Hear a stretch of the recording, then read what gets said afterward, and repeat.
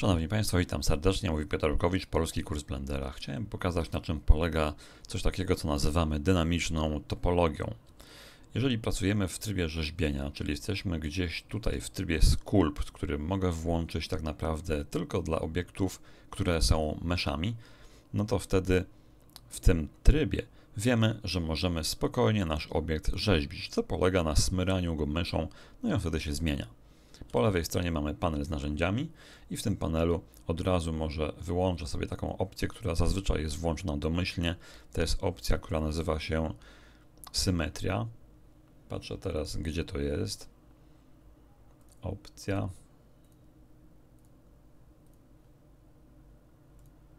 Mamy to tutaj, tam gdzie jest zakładka Symmetry Look. Chciałem przez chwilę jeszcze popatrzeć w inne zakładki. Jeżeli taką opcję wyłączę, to wtedy mogę spokojnie rzeźbić tylko po jednej stronie, a druga strona pozostaje niezmodyfikowana. Normalnie ta symetria jest włączona na osi X, dlatego jeżeli zmieniam jedną stronę, to zmienia się również druga, tak jak widać teraz w tym przypadku. A więc to wyłączę i teraz to, o czym chcę mówić dzisiaj, to jest ten malutki panel o nazwie Dyn Topo. Jest to jedna z opcji dodanych do Blendera już dość dawno temu i w zasadzie brakowało o tym tutoriala, dlatego teraz może z czas, aby uzupełnić ten brak jest może trochę powiększa, aby krótkowidze mogli coś zobaczyć. No i teraz normalnie, jak rzeźbimy, to jesteśmy w trybie tak zwanej stałej gęstości siatki. To znaczy, siatka jest taka jak zawsze i nie zmienia się podczas rzeźbienia. Jeżeli na przykład usunąłbym ten obiekt i dodałbym na przykład coś takiego jak kostkę, to mogę w trybie rzeźbienia tę kostkę spokojnie modelować i ona się nie zmienia. Jeszcze raz przełączę to Sculpt jak widać tutaj siatka jest dokładnie taka sama. Jest to jedna z ważnych rzeczy, ponieważ jeżeli włączę topologię dynamiczną, to kształt mojego modelu zostanie ten sam, ale jego siatka zostanie zniszczona, w tym sensie, że pojawią się na niej trójkąty, nastąpi triangularyzacja. Proszę zobaczyć, to jest zwykła kostka. Jeżeli teraz wcisnę ten guzik Enable Dyn Topo, to bam, nagle wszystkie ściany zamieniły się w trójkąty. Oczywiście normalnie w widoku solid. Nie widzę tych trójkątów, ale one tutaj są i teraz cała geometria oparta jest o trójkąty, co ma później znaczenie, na przykład jeżeli chciałbym to dalej modelować w takim trybie już bez rzeźbienia. Tak czy inaczej, jeżeli teraz będę rzeźbił, no to widać, że pojawiają się nowe ściany, ale w zupełnie inny sposób niż poprzednio. To znaczy, robią się z nich takie malutkie trójkąciki i one tworzą geometrię tego modelu. Widać też, że siatka tutaj zrobiła się znacznie gęstsza. To znaczy, tam gdzie rzeźbie, pojawiają się nowe ściany. Przyjrzyjmy się na przykład temu, co jest tutaj na rogu. Jeżeli teraz dotknę tylko pędzlem gdziekolwiek, natychmiast pojawiają się rozcięcia i wstawiana jest nowa geometria właśnie w to miejsce. Jest to właśnie dynamiczna retopologia w trakcie rzeźbienia, która powoduje, że model przyzwyczaja się jakby, przybiera kształt tej rzeźbionej bryły, a w razie potrzeby dodawane są do niego nowe ściany.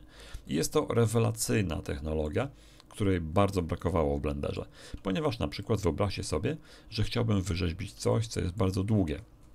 Weźmy sobie teraz taki specjalny pędzel, który nazywa się Snake Hook i takim snake'iem spróbujmy coś bez dynamicznej topologii wyrzeźbić, więc musiałbym po prostu zrobić coś takiego, że jak ją wyłączę, że łapię za taki element i ciągnę. I mogę ciągnąć, aż mi się ten element całkiem rozciągnie. I taka wyszła, powiedzmy sobie, wieża z tego.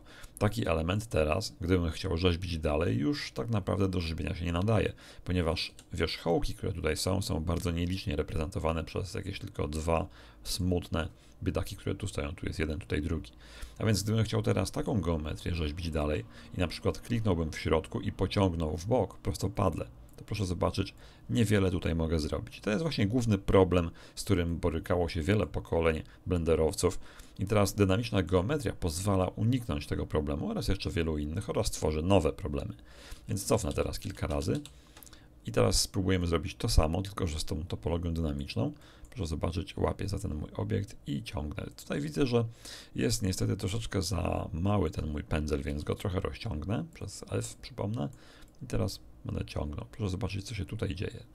Tu w tym momencie powstaje nam w tym takim gluzie, który wyciągnąłem, nowa geometria. Siatka jest gęsta. A co za tym idzie, taką siatkę mogę następnie dalej modelować, a więc mogę kliknąć tu gdzieś w środku i rozciągnąć ją na bok. W ten sposób mogę robić gałęzie, na przykład do jakichś kaktusów meksykańskich albo jakichś innych rzeczy. Coś, co nie było wcześniej w ogóle możliwe. I teraz ta dynamiczna topologia pozwala mi w tym momencie oczywiście dodawać nowe wierzchołki, dzięki czemu nie muszę za każdym razem robić mnożącej retopologii całego mesza. Przypomnę, że robiłeś to zazwyczaj za pomocą modyfikatora remesh, który wstawiał tutaj odpowiednią retopologię. Musiałem teraz wrócić do trybu rzeźbienia normalnego. O, tak jak tutaj. Dodać jeszcze raz remesha no i odpowiednio go ustawić, tak żeby ta jego geometria była w miarę sensowna. Jeszcze wezmę sobie smooth. Zdaje się, że o tym modyfikatorze już wcześniej mówiłem, teraz musiałem dać apply. No i teraz z powrotem w tryb rzeźbienia wejść, no i mógłbym tutaj ewentualnie coś robić, nawet bez tej topologii dynamicznej, proszę zobaczyć. Ale mimo wszystko zawsze bez niej będę rozciągał siatkę i ona będzie traciła swoją wewnętrzną strukturę. Będę tworzył takie porozciągane ściany, co nie jest dobre dla mesza. I teraz ta topologia dynamiczna powoduje, że muszę w każdym momencie pracować zawsze z pełną bryłą mojego modelu. To znaczy nie ma tutaj takiego narzędzia jak multires. Na przykład gdybym chciał dodać multiresa, który również jest używany do rzeźbienia, to on w tym momencie jest niewspierany w trybie dynamicznej topologii. Jeżeli wyłączę topologię dynamiczną i ten modyfikator dodam kolejny raz, to teraz jest wspierany. Mogę dodać kolejny podział, na przykład jeszcze kolejny. Teraz dam preview na przykład na 2, no i za chwilkę Blender będzie bardzo ciężko pracował, walcząc z taką ilością wierzchołków, jaką tu mam. Może zróbmy to tak. Jak widać teraz już mam tak w miarę gęstą siatkę, że mogę coś tutaj robić. Ale to jest multires, a więc mogę zejść na przykład z tym poziomem podglądu, mogę zejść z poziomem precyzji rzeźbienia. I te poziomy multiresa pozwalają mi tymczasowo przynajmniej ograniczyć rozdzielczość siatki. Czyli jeżeli zejdę na przykład tutaj z preview, to widać, że będę miał zaraz mniej. O, tak jak teraz. I to jest główna zaleta korzystania multirasa. Poza tym tworzę on taką siatkę, która może nadal być czworokątna albo trójkątna. Tak czy inaczej, nie mogę go używać, a co za tym idzie, muszę widzieć cały model w pełnej rozdzielczości, wtedy kiedy korzystam z topologii dynamicznej. No i teraz tak, ta topologia dynamiczna ma też taką cechę, że ma tutaj coś takiego jak detail size. Zaraz tu wytłumaczę dokładnie o co chodzi, ale weźmy sobie może jakiś normalny model. Wziąłbym tutaj może coś takiego po uporządkowaniu sceny jak zwykły plane. Na nim się troszeczkę popastwimy. A więc jeszcze raz tryb rzeźbienia. Topologia dynamiczna. I teraz jedno przeciągnięcie pędzla, powiedzmy, wystarczy, aby pokazać o co chodzi. Mniej więcej. Jeżeli tutaj ciągnę pędzel, to widać teraz, jaka jest jego grubość mniej więcej. Oczywiście zasięg tego pędzla jest taki, jak sam rozmiar pędzla, natomiast ilość tych szczegółów tutaj określa właśnie w pikselach ten wskaźnik o nazwie Detail Size. Jeżeli wezmę sobie na przykład detale, ustawię na 30 punktów i pociągnę, to widać, że teraz one są znacznie grubsze. Dodaje się siatka po prostu, która jest znacznie gęstsza, znaczy znacznie taka grubsza. Jeżeli dam malutkie detale, na przykład rzędu tam powiedzmy sobie dwóch czy trzech punktów, to mam od razu z tej samej wysokości bardzo ładną rozdzielczość i mogę rzeźbić bardzo precyzyjnie. Więc to jest pierwszy parametr, detail size. Natomiast następny to jest taka lista rozwijana, w której są dokładnie trzy opcje i domyślnie jest ustawiona na Subdivide Collapse. Oznacza to, że jeżeli będę rzeźbił na przykład ze średnią, powiedzmy sobie gęstością, na przykład taką jak 15 pikseli, to będę miał mniej więcej taką gęstość tego mojego mesza, to w momencie, kiedy wejdę w obszar tego mesza, który jest bardzo gęsty, to nastąpi usunięcie części tych wierzchołków po to, aby zachować tą właśnie ustawioną wcześniej z góry gęstość pędzla. To jest właśnie kolaps teraz. Ten kolaps odbywa się w ten sposób, że po prostu niektóre wierzchołki się zapadają i siatka, która powstaje jest rzadsza niż ta, która była przed chwilą. A więc w tym trybie nasz Dynamic Sculpt, czy ten topo może działać odwrotnie, może niszczyć naszego mesza. Więc jeżeli coś rzeźbimy, musimy być świadomi tego, że możemy na przykład ładnie zrobić, powiedzmy sobie, detale. Na przykład tu jest już wyrzeźbione tak, jakbym chciał, o, w ten sposób. I teraz na samym początku gdzieś tutaj zrobię taką górkę, taką górkę i jeszcze powiedzmy sobie jakiś uśmiech. W tym momencie może by mi się wydawało, że to jest wszystko tak jak trzeba, ale jak się tylko odsunę i raz przejadę myszą, w tym momencie całość jest usuwana i natychmiast znika. Trzeba być tego świadomym. Mamy zatem możliwość zagęszczania siatki albo jej rozrzedzania. Ok? Jest to operacja odwracalna.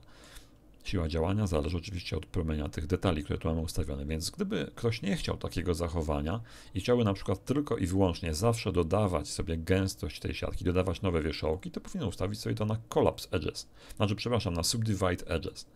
W tym momencie będzie mógł rzeźbić. Jeżeli doda jakieś nowe elementy w jakimś miejscu, po odsunięciu się te elementy będą pozostawać. Nie będzie to miało znaczenia, czy one tam są, czy nie. Tak samo, jeżeli będę miał włączone Collapse Edges, to będę tylko usuwał te elementy, czyli tutaj na przykład nie dodają się nowe elementy siatki, bo jestem już w znacznym powiększeniu, by wypadało, żeby się dodały. Natomiast jeżeli przejadę po gęstej siatce, to ona się rozrzedzi. Więc mamy takie tryby i domyślnie są włączone oba. Teraz, jak dwa takie tryby są włączone, to mam następny pasek, który określa, w jaki sposób zachowują się detale, które związane są także z wielkością pędzla i jakby poziomem szczegółowości tego, co rzeźbię. Robię teraz kolejne cofnięcia. Zobaczymy, czy uda mi się cofnąć wszystko. Cofnąłem. Więc mamy teraz ustawienia domyślne i mamy tu Relative Detail. Ten Relative Detail obecnie oznacza względny rozmiar względem rozmiaru pędzla i względem powiększenia całego ekranu. Co oznacza, że jeżeli teraz na przykład smyram pędzlem, to wychodzą mi detale tej wielkości mniej więcej, a jeżeli się przysunę trochę, to te detale będą miały dokładnie taki sam rozmiar, ale względem bieżącego viewportu, co znaczy, że na obiekcie będą znacznie mniejsze. Teraz, jeżeli będę miał opcję wybraną trochę inaczej, czyli zamiast Relative Detail wezmę sobie coś jak Constant Detail, to w tym momencie będziemy mieli zawsze taki sam poziom szczegółów, a więc teraz na przykład widać, że szczegóły są takie dosyć grube. Widać też, że detail size określony jest w procentach. Mogę go zmniejszyć na przykład do jakichś 10 z kawałkiem i teraz moje detale wyglądają w ten sposób. Jeżeli teraz się przybliżę, to te detale tutaj nie powstają, a jeżeli się oddalę, no to oczywiście cały czas będzie ten sam jakby poziom gęstości siatki, którą narzuca mi pędzel. Mogę także w pewnych momentach zrobić coś takiego, że mogę spróbkować sobie to, co mam tutaj pod pędzlem. To znaczy, że chciałbym na przykład rzeźbić taką samą gęstością, jaka jest ustawiona tu w tym miejscu, gdzie jest tak gęsto pociupane. W tym momencie jest taka śmieszna rzecz, że mogę kliknąć w ten zakraplacz i spróbkować gęstość mesza, która jest w tym miejscu. Po prostu klikam gdzieś w tym miejscu i widzę, że tutaj detail size jest ustawiony na 3,14. Śmiesznie. Jeżeli teraz będę rzeźbił, to taki sam rodzaj detali mogę uzyskać gdzieś indziej. Jeżeli spróbuję go w innym miejscu, to będę miał 7% i to będzie na przykład tyle co tu. Albo mogę spróbować go tam, gdzie jest bardzo rzadko i teraz jest 100% detail size, a więc strasznie grube grochy będę tworzył. Śmieszna rzecz, dosyć nietypowa. Jeżeli wezmę sobie tak, że zamiast constant detail coś takiego jak brush detail, to w tym momencie poziom detali zależy tylko i wyłącznie od tego, jak działa pędzel. A więc jeżeli się przybliżę, to w tym momencie wielkość tych zmian, które wprowadza pędzel, zależna jest od tego, jak one są ustawione względem wielkości pędzla. To znaczy, że jeżeli wezmę sobie na przykład 100%, to jest dokładnie tak, jak było. ok? To są grube zmiany. Okay? W obszarze pędzla powstaje mniej więcej tyle samo tych wielokątów, co jak na przykład się przesunę i zrobię to tutaj. Przy okazji jest tutaj jeszcze kilka innych opcji. Na przykład jak ja mam wybrane Constant Detail, to pojawia się opcja, która nazywa się Detail Float Fill.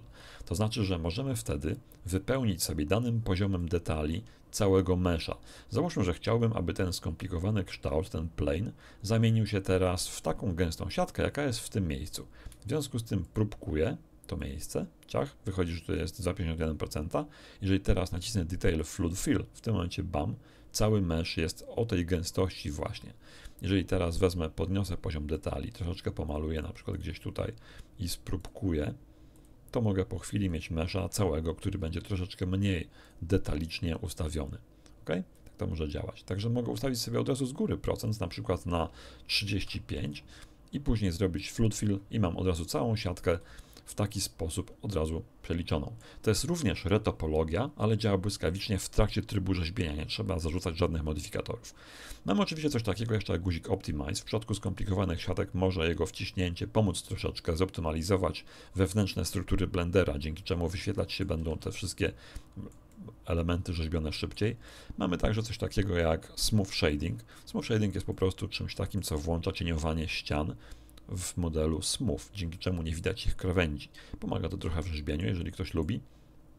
Mamy także opcję taką jak Symmetrize jest kierunek. To mogę pokazać na przykładzie mesza, który będzie troszeczkę bardziej podobny na przykład do sfery.